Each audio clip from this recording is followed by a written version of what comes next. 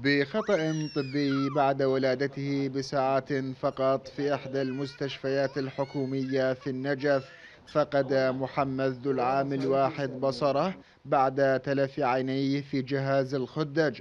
صدمة ممزوجة بالحسرة تكتنف ذوي الطفل الذين رووا تفاصيل ما تعرض له محمد. دخل الطفل للخدج يعني كأي طفل اعتيادي يدخل للخدج.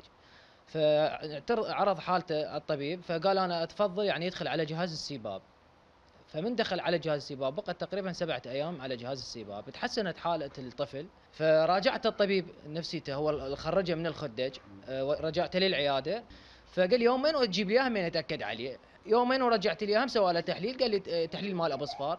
قال لي كل شيء ما أبي. فالمفروض هو يحولني ويفحصوه أثناء رقوده بالخدج هذا هذا السياق مو أنا اللي أحكي هذا السياق هو يعني سياق العمل الأطباء. من بعد الاربع أشهر آه، صارت عنده أعراض الطفل. عيونه تدمع آه، دقن قوي بعينه عينه حمراء تحكه يبكي من عندها فأنا عبالي التهاب راجعت أحد الأطباء الموجودين بالنجف.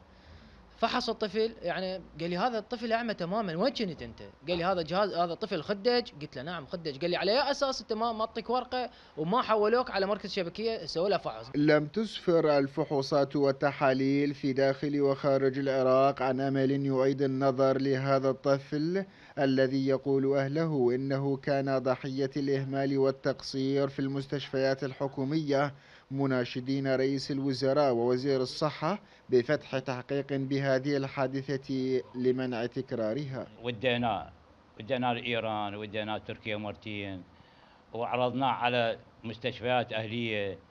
نفس الكلام قالوا النبي قال هذا التأثير الأكسجين على على الشبكة مات فإحنا نناشد رئيس الوزراء أن يقوم بهذا التحقيق. ليش الإهمال؟ هذا الطفل شنو ذنبه؟